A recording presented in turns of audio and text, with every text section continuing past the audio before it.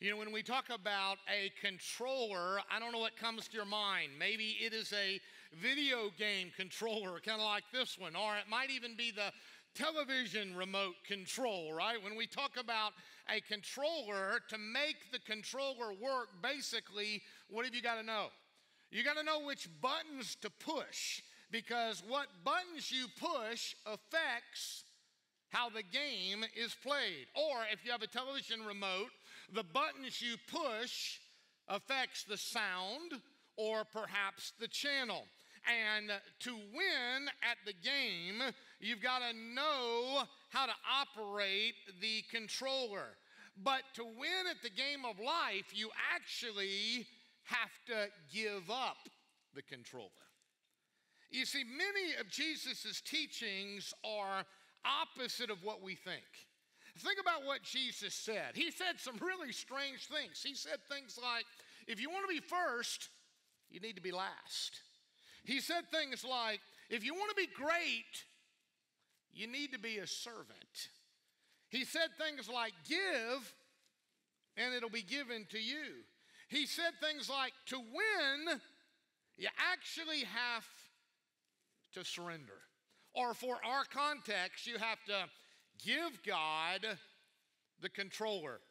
now it's Father's Day, and let's be honest, this is something us dads struggle with.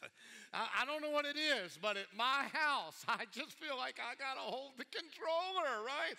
I just got to feel like, you know, I, I, don't know what it is. It's just something about us, you know. And, and, and I want you to turn with me to the book of Genesis chapter 6, and we're going to study today about a guy. If there was one guy who gave God the controller, who gave God control, it has to be Noah.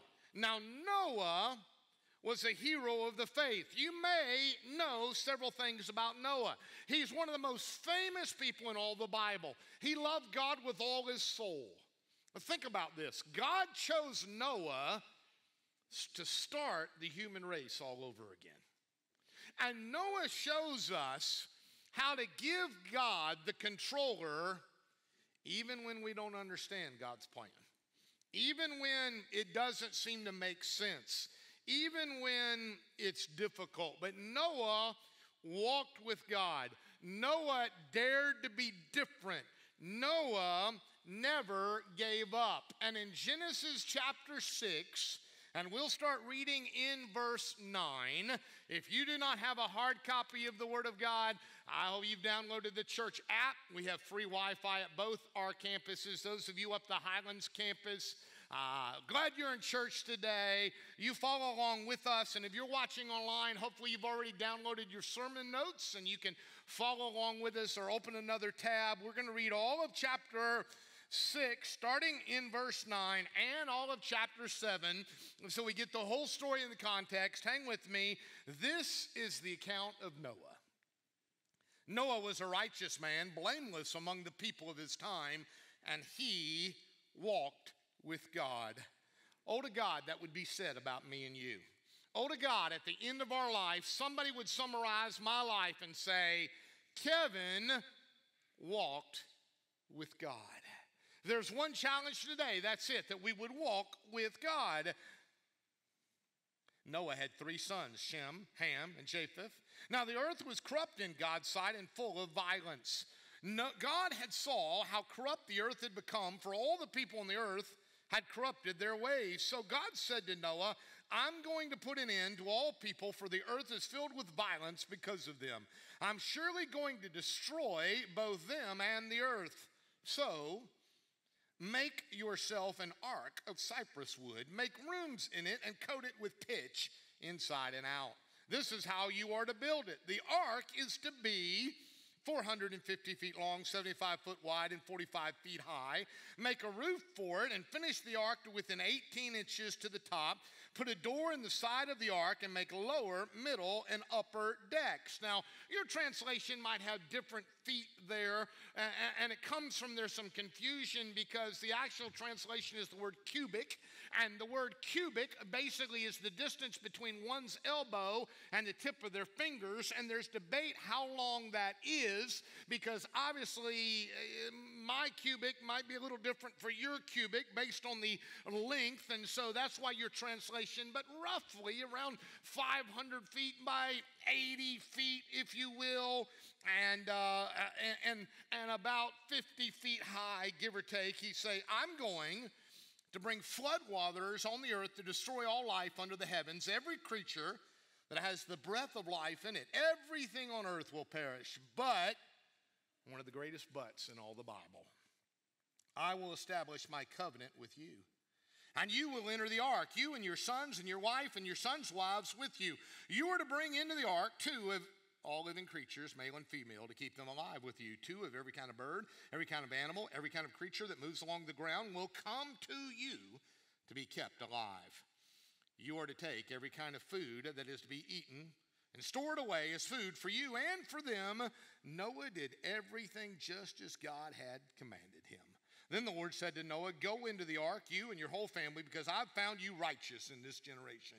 Take with you seven of every kind of clean animal, a male and its mate, and two of every kind of unclean animal, a male and its mate, and also seven of every kind of bird, male and female, to keep their various kinds alive throughout the earth. Seven days from now, I will send rain on the earth for 40 days and 40 nights, and I will wipe from the earth every living creature that I've made and Noah did all the Lord had commanded him.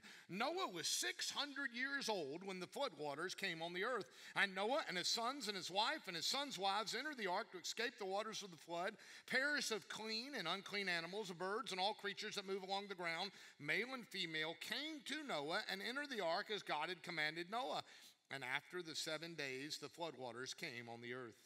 In the 600th year of Noah's life, on the 17th day of the second month, on that day, all the springs of the great deep burst forth, and the floodgates of the heavens were opened, and rain fell on the earth for 40 days and 40 nights. On that very day, Noah and his sons, Shem, Ham, and Japheth, together with his wife and their wives of his three sons, entered the ark.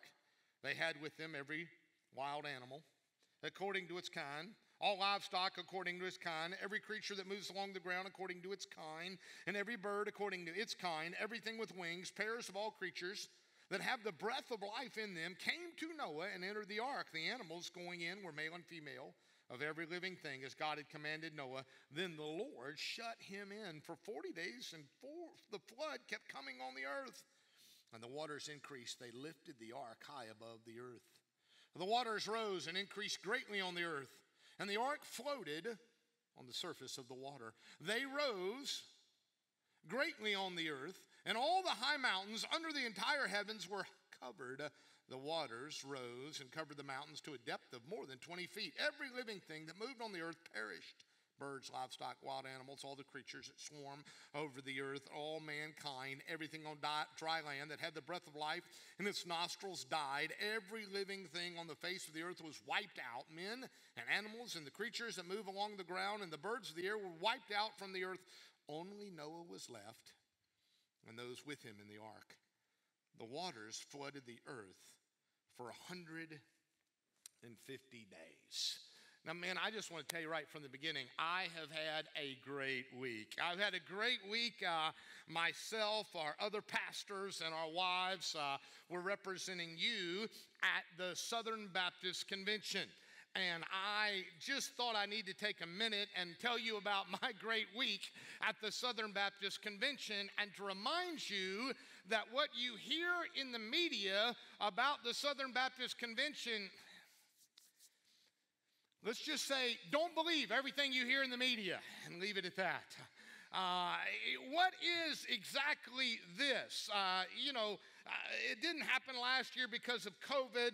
The Southern Baptist Convention is a big family reunion. I mean, it's pastors from 50,000 churches, uh, it, it's seminary professors, it's missionaries, it's, uh, and, and a few crazy uncles, okay? Like every family, if you have a family reunion, every family's got that one or two, you know, person, in, and, and, and if you don't know who it is, it's you. And, uh, and we gather together, and it's this huge business meeting. So there's 16,000 plus people in a room, and after sermon after sermon after sermon for two days, which man, I just love because it's good for the preacher to be preached at every now and then, and it fires me up, all right?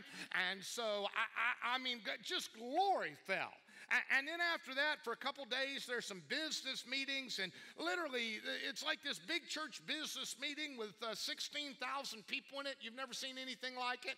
And any crazy uncle can go to the microphone and make a motion about anything, and some other crazy uncle will second it, and then we basically have to talk about it because we're Baptists, and that's what we do. And then when we don't know what to do, we form a committee to study it. Amen. All right? And so that is, in effect, what the Southern Baptist Convention does. But what you didn't hear about was the 422 new missionaries that were appointed this year through the International Mission Board.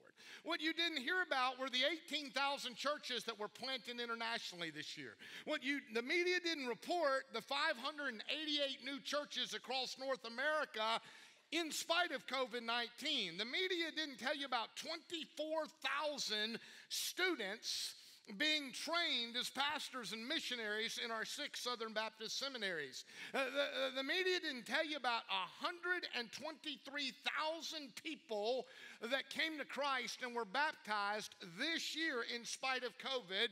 The, the, the media didn't tell you about $683 million given to missions. And, and I was so overwhelmed. The media didn't show this picture of 16,000 Southern Baptists, most of which on their knees begging God for revival in our America. You see, it doesn't show you that, right? And man, as we're there at the convention, and, and we're, we're, we're seeing these missionaries being committed and, and commissioned, and over 60 some odd missionaries being commissioned, many of whom that we couldn't even see their identity. They had them behind a sheet because they're going to countries that they couldn't broadcast their real name.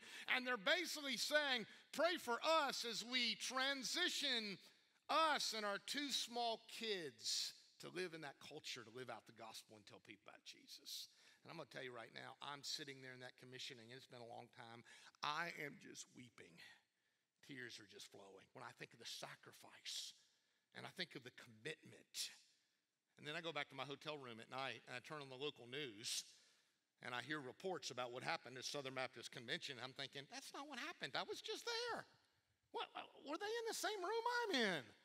So don't believe everything you hear, okay? And I was reminded again this week as your pastor this is Jesus' church, it's not mine. And I personally have to give God the controller. I have to give him the controller because he said the gates of hell will not prevail against this place. And after we spent a couple days there, Miss Terry had decided since we were only four hours from the ark, we are to drive to the ark on the way home. So, being a good husband, we drove to the ark on the way home. And man, and it's just neat how God lines it up. And I don't know if you've heard of the Ark Encounter, but there is this guy named Ken Ham. He does this organization called Answers in Genesis. And the dude built a life size replica of the Ark in the middle of nowhere.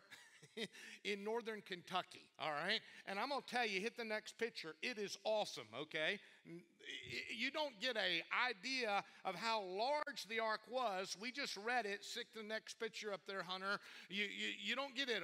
You don't get a, a real truth idea as you go through the ark. And as we walk through that, hit the next one there, Hunter, if you would, please.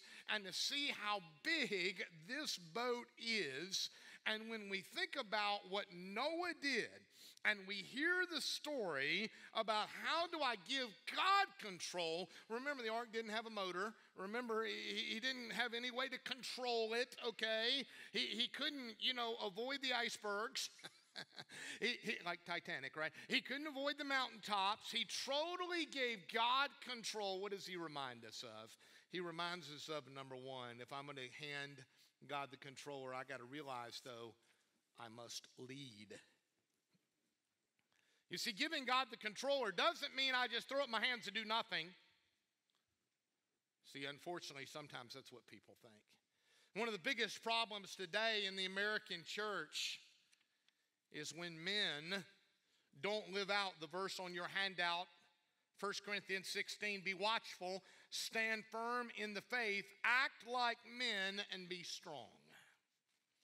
You see, when men don't lead, when they don't, chapter 6, verse 9, like Noah, walk with God, when they don't exercise biblical servant leadership, the entire family, the entire community, the church, indeed the entire country, the entire world suffers. Now, we're not talking about barking orders. We're not talking about being demanding. We're not talking about being selfish. We're talking about being like Noah, leading like Noah, biblical leadership, because A, the hardest person to lead is yourself. Isn't that true? You know what I've learned? it's easier for me to lead you than it is for me to lead me. You know, the biggest person, the biggest problem, the number one hard, the guy that gives me the most grief in this church, you know who he is? He's me. He's me. The hardest person to lead is yourself. What Jesus say in Luke 6, I'm to paraphrase. Get the two by four out of your eye before you worry about the splinter in somebody else's eye. Now, how do we do this? B, we lead by obeying God like Noah and relying on his promises. Not relying on yourself, not relying on your connections. Come on, guys, not relying on your ability or your insight, because it's Father's Day and that's what us men do. We rely on our us. No, we rely on God's promises. Think about what God promised Noah here. I'm going to save you, your family, and the animals, so I want you to build an ark. Now, a lot of times people wonder how in the world, skeptics say, how in the world did Noah fit all the animals into the ark? Well, the Bible gives us the answer if we will just read it. Look what he says in chapter 7 and verse 14. He mentions that word kinds. He talks about the different kinds. And at the Ark encounter, one of the things they really presented that I loved is think about it this way just take dogs. You all know that I love dogs. Every dog today, every species of dog today, really comes back to the canine kind, to the canine family. So Noah didn't have to take a poodle and a chihuahua and a beagle and a German shepherd on the ark. He just had to take two dogs.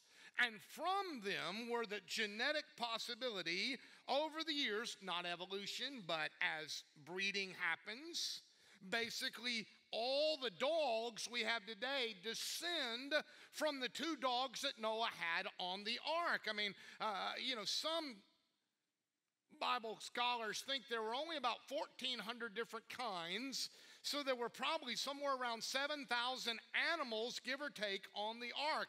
Now remember the promise God gives Noah, but here's the catch it had never rained. We missed that. God says, I'm going to send rain. And Noah had to say, Why? You're going to send what?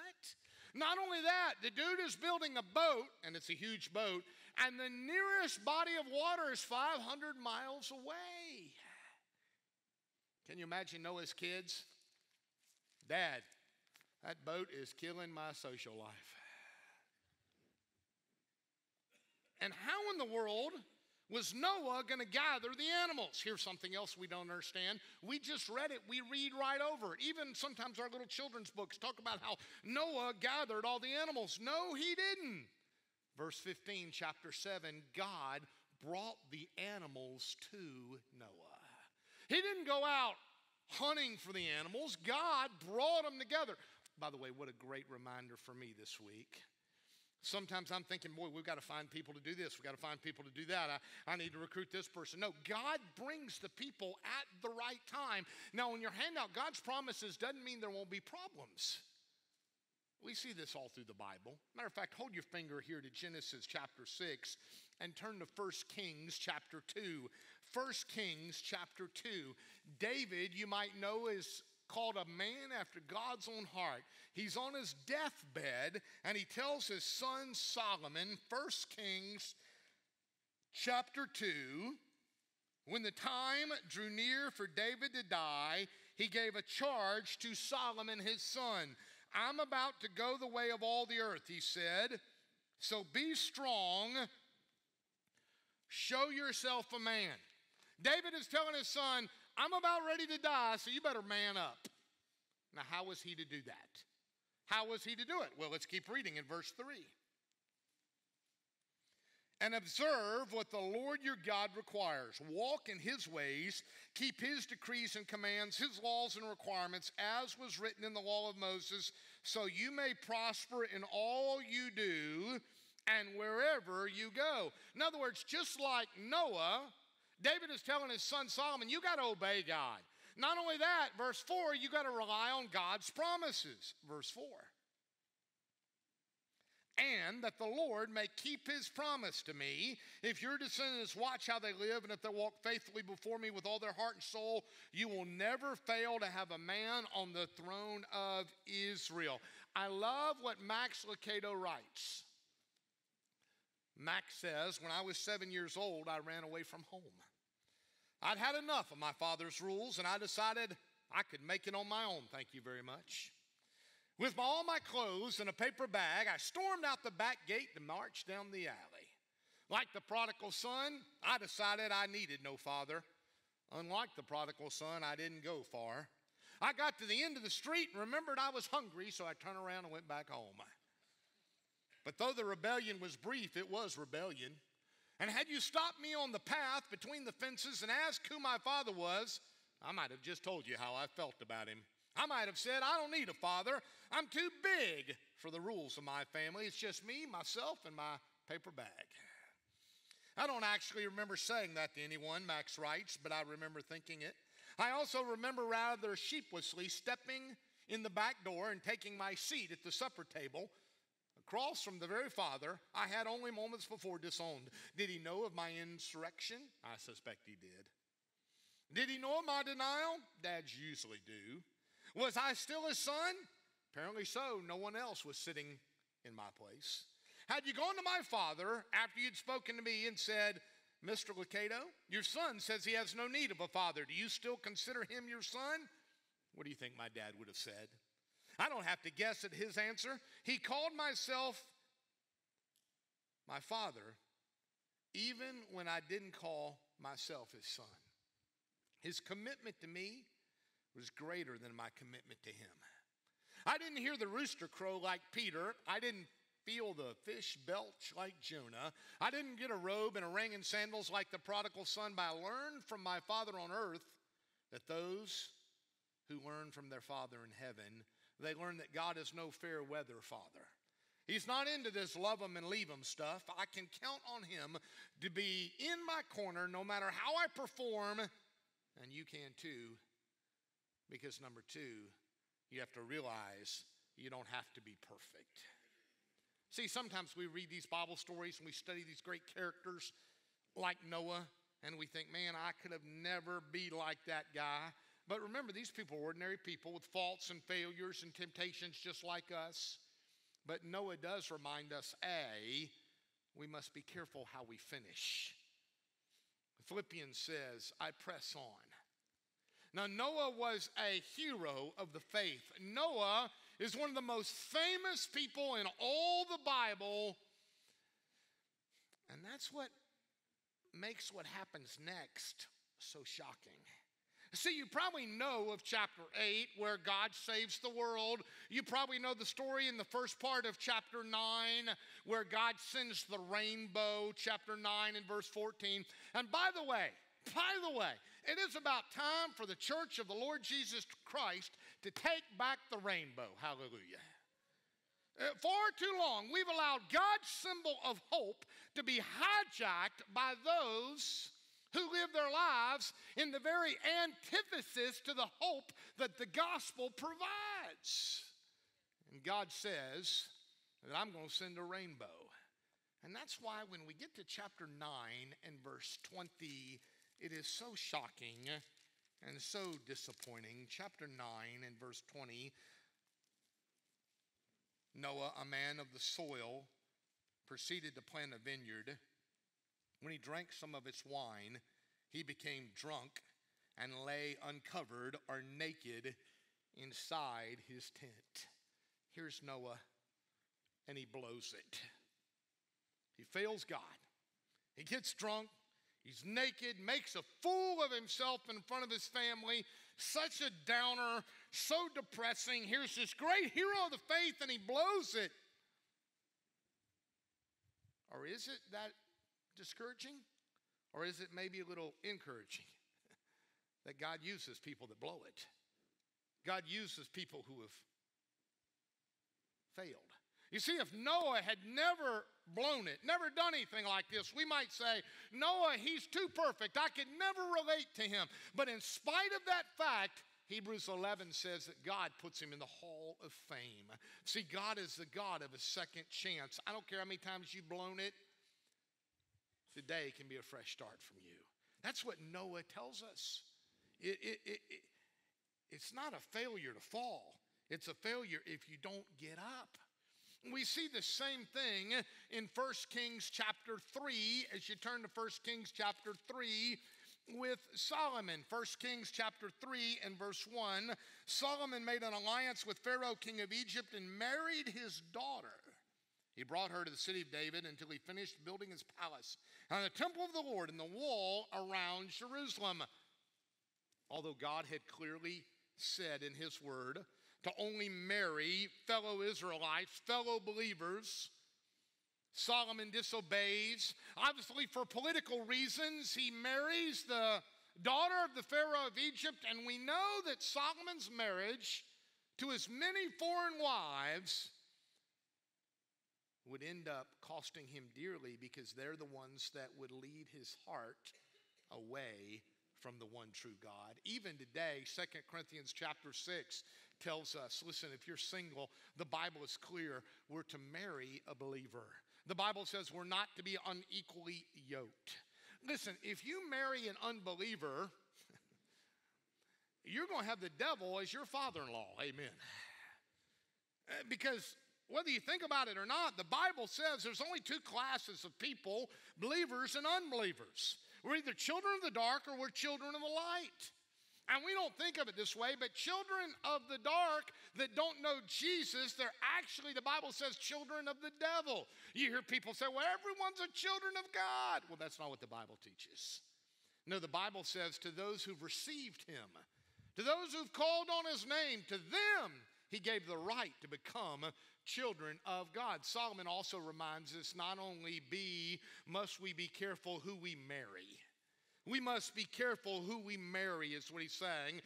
But see, we also must be careful where we worship. Look at verse 2, 1 Kings 3 and verse 2. The people, however, were sacrificing at the high places because a temple had not yet been built for the name of the Lord. Solomon showed his love for the Lord by walking according to the statutes of his fathers David, except what a bad word.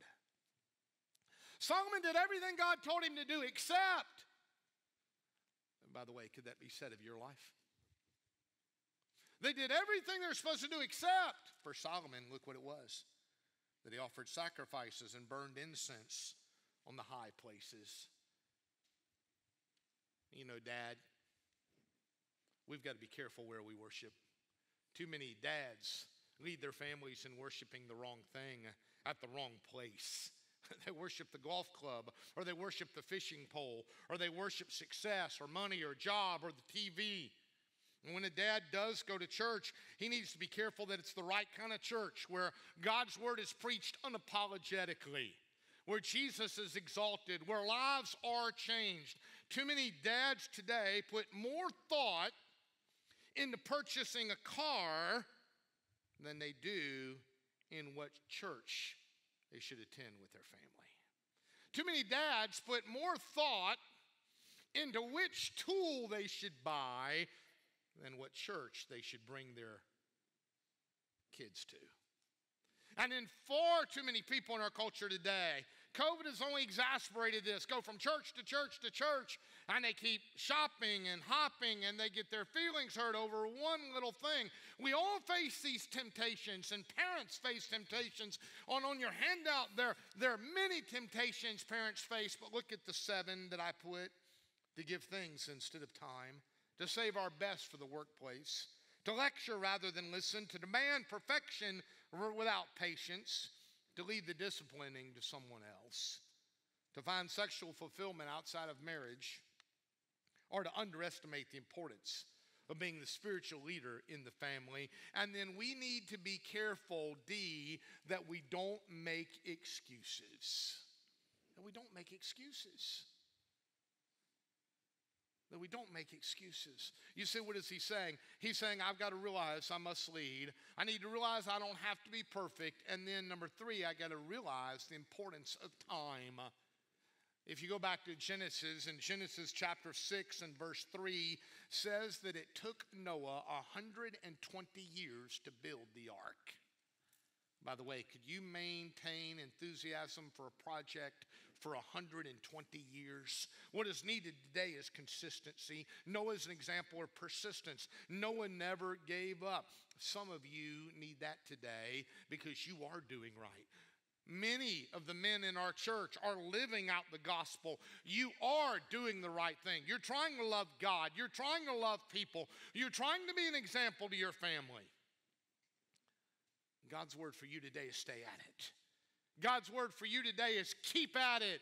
Be like Noah, day in, day out, day in, day out, day in, day out. He comes home, Mrs. Noah, honey, how was work today? Same old, same old. Next day, honey, how was work today? Same old, same old. 120 years. You see, we got to realize the importance of time. A, time in prayer. On your handout, let us not become weary in doing good, for at the proper time we will reap a harvest if we do not give up. One of the, one of the things that really challenged me this week at the convention is when a pastor said, Remember, I said it's good for the preacher to be preached at. He said, Why don't pastors pray more? Here's the truth. We don't think it really matters. Why don't most of us pray more? deep down, we probably don't actually think it matters. B, we must understand the importance of time in worship. 1 Kings chapter 3 and verse 4 says that Solomon offered a thousand burnt offerings. Hebrews 10, let us not give up meeting together. Some are in the habit of doing. Let us encourage one another and all the more as you see the day approaching. Now, look, summer's here, and traditionally in churches, during the summer, what happens? Attendance drops. Why? Because dads don't prioritize church for their family. They prioritize the ball game and travel sports, but not church. They, they might prioritize sports camp, but not church camp. They might prioritize going to work, but not worship. Look, you want to make a difference in your family? Let them see you in worship. You lead the way. Some of you are watching me right now today and you're on vacation, and that's great. Praise God for technology. But some of you are, if you are in the area of our campuses, can I just say to you bluntly, it's time to get out of your pajamas and get back in church. It, it, it's time for you. There's something special about corporate worship. Look, even if you can't sing a lick like me, it's something powerful about hearing the people of God sing together, hallelujah, for the cross, and then see there's time in service. I got to understand the importance of time. Think about Noah served God for 120 years. 1 Kings chapter 3 and verse 6 says Solomon's was on the throne day after day after day. I got to realize the importance of time. I got to realize the importance of time. Realize I don't have to be perfect. Realize I must lead. And if I want to win by giving God the controllers, number four, I got to realize my inadequacy, that I can't do it myself. I got to realize my inadequacy. There are certain things that sometimes we use to hold us back. A sometimes is our age. We think, oh, I'm too old or I'm too young. No, we see both with these two guys. In Genesis chapter 7 and verse 6, Noah was 600 years old. That's old when the flood came. God used Noah when he was 600 years old. Don't use as an excuse why I'm too old. And then Solomon in 1 Kings chapter 3 and verse 7, look what he says I'm only a child. 1 Kings chapter 3 and verse 7. And by the way, when he said that, he was 20 years old. I'm so inexperienced. I don't know how to carry out my duties. 1 Timothy 4 says, Let no one look down on your youth. Don't use age as an adequacy. B, there's difficulties. Look at 1 Kings chapter 3 and verse 8. Your servant is here among the people you've chosen, a great people, too numerous to count or number. Solomon says, There's too many people, I don't know what to do. There's too many temptations. Oh, our culture is different today. And social media has only exasperated the problem. I, I don't know what to do. Look, God doesn't expect you to be a perfect. He doesn't expect on your handout perfection, but he does expect progress. So what do you do? What do you do? Look at 1 Kings chapter 3 and verse 9. So give your servant a discerning heart to govern your people and to distinguish between right and wrong. For who is able to govern this great people of yours? Number five, you request a discerning heart. You ask God for wisdom. It literally is a hearing heart. Uh, that word in the Hebrew, when it says, give me a discerning heart, literally means a hearing heart, so I can hear your voice. Look what he says, verse 9 to distinguish between right and wrong. I request a discerning heart, A, so I can know the difference between right and wrong. If there was ever a day we need that. If there's ever a day we need to teach our kids that, what was once wrong is now accepted as right, and what was once right is now seen as being wrong. And by the way, even just this week, I got tagged in some Facebook things about, you know, all the things that's happening and how all churches, and especially now, you know, Southern Baptist churches are going liberal and they deny the Bible and they don't preach from the Bible. And somebody tagged me and said, Well, you ought to come to Fincastle Baptist and Pastor Kevin, he preaches the Bible and he uses scripture and he puts it on his notes. And, and the person responded, Oh, no, he doesn't. He wouldn't call out sin. And I was so tempted to respond. I didn't, by the way. See, there's some folks, the Bible just says their minds are blinded by the God of this age. And that's why we have to request a discerning heart. God, help me to know what to do and help me to know when to do it. I think back in my life, there's a lot of times I knew what to do, I just wasn't sure when to do it. You ever been there? Matter of fact, this week, Terry and I celebrated our 33rd wedding anniversary. And I knew, yeah, you clap for her, go right ahead. Yeah, I know what you're thinking. Yeah, poor Terry, I got it. And I think back all those years ago, and we were students at Liberty, and I knew that God had told me we were to get married. I knew she was the one, and she knew that. It wasn't a question of what, it was a question of when. Should we get married this time or should we wait and get married that time? So many times in my life, it's not that I don't know what to do. I just need to know also when to do it. I need to have a discerning heart. Why? B, so we can have real wisdom. Real wisdom. Real wisdom comes from the Father. Look at verse 10. The Lord was pleased that Solomon had asked for this, that he'd asked for a discerning heart, that he'd asked for wisdom, that he asked for a hearing heart. So, verse 11, God said to him, Since you've asked for this, and not for long life or wealth for yourself, nor have asked for the death of your enemies, but for discernment and administering justice, justice I will do what you've asked. I will give you a wise and discerning heart, so there will never have been anyone like you, nor will there ever be Moreover, I will give you what you've not asked for, both riches and honor, so that in your lifetime there will have never been no equal among kings. And if you walk in my ways and obey my statutes and commands as your father David did, I will give you a long life. Man, parents need wisdom today. Dads, you need wisdom. So, as it says on your handout, you can train up a child in the way he should go, and when he's old, he will not depart from it. We need wisdom today. You see, to win at life, I got to give God the controller. And Jesus' message is so different than the way we think. He says, I win by surrendering, surrendering my will and my way. How's that? I, that means I've got to lead. And the hardest person to lead is myself.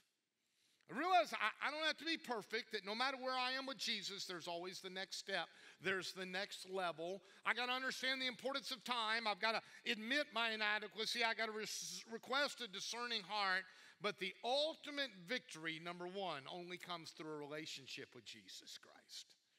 The ultimate victory comes from knowing God personally. You know, if you're playing a video game, what I've learned is there's always the next level in there. You remember if you were a kid and you played video games?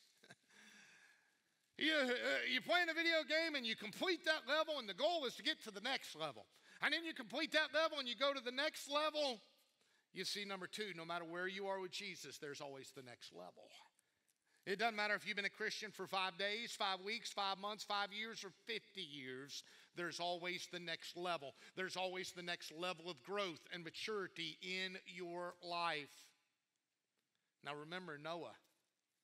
At the end of his life, still blew it, but he ended up in God's Hall of Fame. That reminds me, number three, that God is the God of a second chance. And maybe that's what you need today. Pastor Jeff's going to come right now and close our service at the Highlands campus. Would you bow with me, those of you online, those of you here at Fincastle? Maybe that's you today. You'd say, Pastor Kevin, to be honest, I don't feel like I have led well. I haven't led myself, much less my family. Maybe like Noah, you can think at a time that you were close to God, but now you have blown it and you know it. And God seems a million miles away. And deep down, you just feel like you're going through the motions of religion rather than living out a relationship with Jesus. Have you established that? If not, that's where it starts. Have you ever come to the point? Maybe some of you today just need to say, God, I need you. Come into my life. Forgive me of my sins. I believe you died, you were buried, you rose from the dead. I turn from my sin. I repent. I choose Jesus as my Savior right now. Look, if that's you today, we'd love to help you as you begin this next step. After the service, I'll be standing outside under a blue tent. We'd love to talk with you and help you. Maybe you're here today and you just kind of feel like you're stuck at a level. Yes, you're a Christian. Yes, you know Jesus, but deep down you know you're not growing in your faith. Deep down you're not maturing in your faith. Look, maybe you just need to give God the controller. Maybe you need, to do the things that you know you need to do. You see, you can't go to the next level unless you turn on the game. And you can't go to the next level and win at the game of life with Jesus unless you surrender here I am, God. All my faults, all my failures. I'm giving it to you. Remind yourself that God is the God of a second chance. Father, thank you for the truth of the gospel that reminds us that no matter who we are, no matter where we've been, no matter what we've done, that your grace is available for us today. In Jesus' name.